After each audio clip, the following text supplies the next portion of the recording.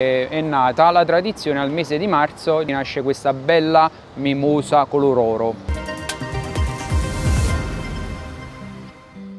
È il fiore tradizionale dell'8 marzo nel corso degli anni è diventato il simbolo di questa giornata e dell'avvio della primavera. È un fiore che è nato nel mese di marzo, quindi è un fiore che a marzo eh, lo abbiamo sulle piantagioni che troviamo per strada e poi si è associata alla tradizione delle donne. Nella giornata dedicata alle donne si è soliti acquistarle da sole o in composizioni particolari. Oggi la mimosa è associata a tantissimi uh, fiori tipo tulipani uh, um, dell'Olanda, rose olandesi, red Naomi, stiamo facendo dei vasi con tulipani di Amsterdam, questi qua cuore nero, anche scatole diamante. Quello che sta andando per la maggiore sono ovviamente le scatole, le borse, il caro fiori non dà scampo al settore e anche per le mimose c'è un piccolo rincaro che i commercianti cercano di bilanciare con altri servizi e senza far pesare troppo la spesa alle tasche dei clienti. Essendo che c'è questo aumento di energia, di metano e quant'altro, i fiori stando sotto alle serre sono aumentati tantissimi. Noi eh, cerchiamo di trovare sempre un prezzo un po'